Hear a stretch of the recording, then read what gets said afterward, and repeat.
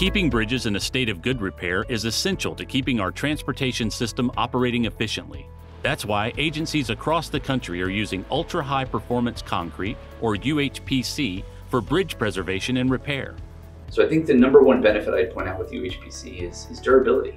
Um, this material is far more durable than a lot of conventional concretes on the market and some other products that are available for preservation.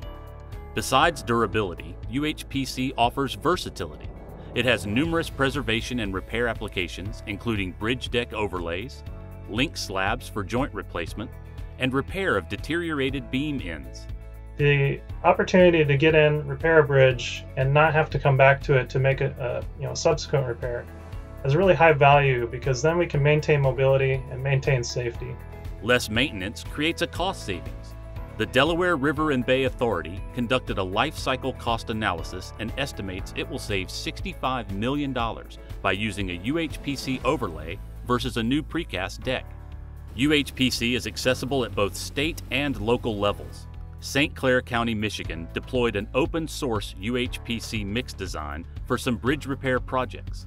That is, they purchased the ingredients separately instead of buying a pre bagged product, which makes UHPC more affordable.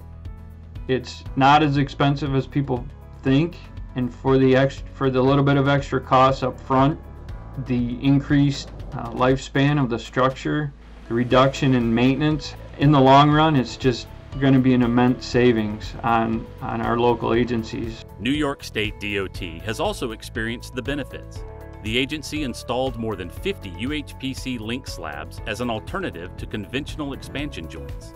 With all the research that's done on UHPC and the, the field performance to really back it up, um, using this advanced and, and, versatile material for the preservation and repair of bridges um, in, in, my opinion, it comes with low risk and offers huge benefits when compared to conventional materials. To learn more about how UHPC for bridge preservation and repair can help your agency increase durability and save money, visit the Everyday Counts website.